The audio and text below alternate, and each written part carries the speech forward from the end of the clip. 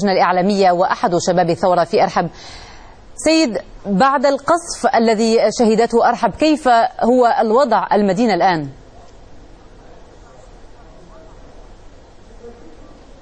والله الوضع بالنسبة لمديرية أرحب تقصف من قبل فلول علي علي عبد الله صالح وتقصف دائما من قبل أربعة أشهر واليوم يقصف المنطقة بشكل عشوائي وكذلك علي عبد الله صالح يقتلنا في اليمن مرتين.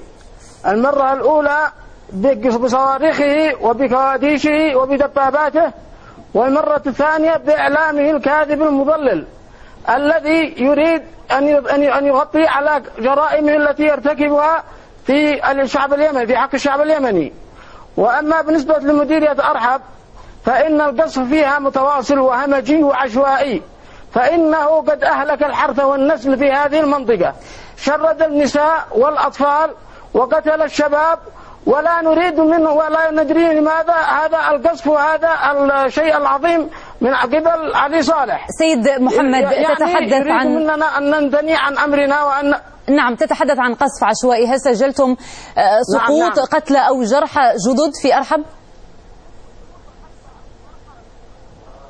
إلى الآن لم تأتينا الأخبار ولم توافينا ال- الأشياء عن إصابات وعن قتلى أو جرحى أو مصابين طيب الآن هل تتوقعون تصعيدا جديدا واستمرار هذا القصف في أرحب؟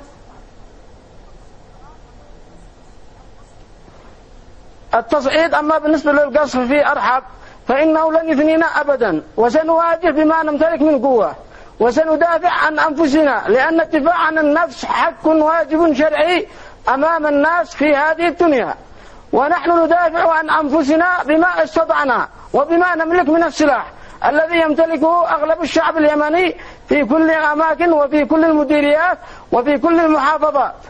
وأما بالنسبة لمديرية أرحب فإنها لن تنثني أبدا عن موقفها ولن تتراجع كيد أنبله لأننا صامدون أمام هذا الطاغية وأمام هذا الظالم وأمام هذا السفاح الذي قتل النساء وشرد الناس من أماكنهم ومن منازلهم وهتم المنازل وقتل حتى الحيوانات لم تسلم منه وخرب البيوت والآن الناس يهاجرون من بيوتهم ويخرجون إلى الكهوف وإلى المغارات من بطش هذا الظالم السفاح علي صالح الذي. أراد أن ينهي شعبه وأن والذي أراد أن يقتل شعبه شكرا جزيلا لك محمد عبد الحميد سنان عضو اللجنة الإعلامية وأحد شباب الثورة في أرحب كنت معنا من هناك استشهد في